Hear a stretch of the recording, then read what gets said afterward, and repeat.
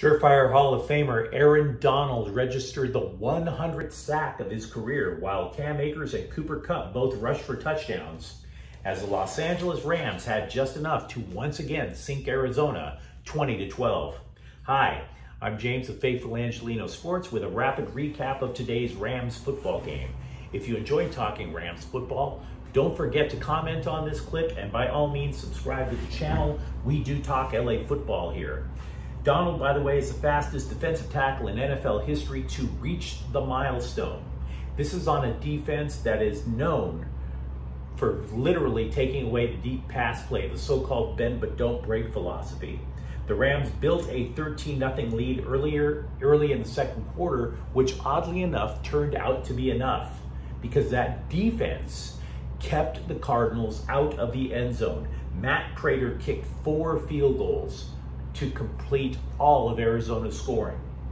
The Rams have improved to 2 and 1 and at least at this moment are in first place in the NFC West with a critical matchup against the 49ers on October 3rd. San Francisco, which plays a Sunday night game against Denver, is 1 and 1 by the way. Arizona falls to 1 and 2. Now, to me, this game was all about whether the Cardinals would do anything different anything different at all against the Rams. Coach Cliff Kingsbury, quarterback Kyler Murray, they are one and six against Los Angeles. So clearly what they were doing before hadn't given them any sort of, it wasn't working. And when something isn't working, you got to change. We've all heard the cliche of the, what's the definition of insanity. You don't need me to repeat it for you. Basically, they didn't really change. It's called the air raid offense for a reason. It's not like they're going to bring in two tight ends and a fullback and then all of a sudden go three yards in a cloud of dust. That's not their MO. So the Rams knew exactly what Arizona was going to do. And LA already had the formula in place that consistently stops Arizona. It's extremely tempting to say that this game was over before it started just because of that. Now, say what you want about the Rams, but at least Coach Sean McVay, who is 11 and 1 against Arizona, he has the, the, the, the capacity, the mental capacity to make changes. Arizona, after the Rams had taken that 13 0 lead in the second quarter, Arizona kicked three field goals to pull it within 13 9. So as a result, McVay made a change. He started trying to run the ball to kill clock. Now, I'm not going to say it was a tremendous effort by the Rams running game, but they did rush for 100 yards on Sunday. It did work. It killed clock.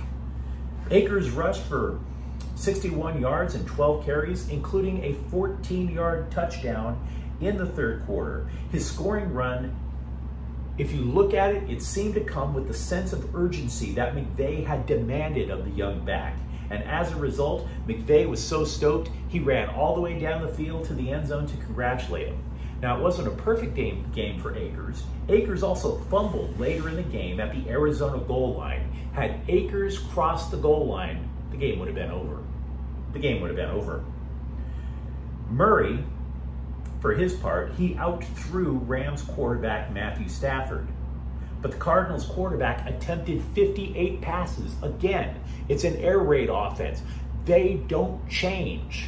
They're always going to throw. First, second, third, first and last, doesn't matter. They are always throwing. Which played exactly, again, into the Rams' hands. So if Murray is throwing for 314 yards, that makes sense. He passed 58 times. Now Stafford he completes only 18 of 25 for 249 uh, yards. The numbers aren't as dramatic as, as Murray, but he's the one who gets the win. Finally, definitely put some respect on rookie cornerback Ken, Kerrion Dendrick. Sorry, put some respect, and, my, and, by the way, I should pronounce it correctly. Put some respect on rookie cor cornerback Derion Kendrick's name. See, the Rams were down as many as three defensive backs due to injury. Kendrick led the team with nine tackles. Nine tackles as a rookie against a team that he knew was going to be coming at him all day long. And he, along with the rest of the Rams defense, kept Arizona out of the end zone. The defense was terrific in that sense. You allow just 12 points, you should win a football game. Now, if you enjoyed this recap of Rams football, don't forget to subscribe to this channel. We do talk Rams football here. Thank you for watching. I'm James.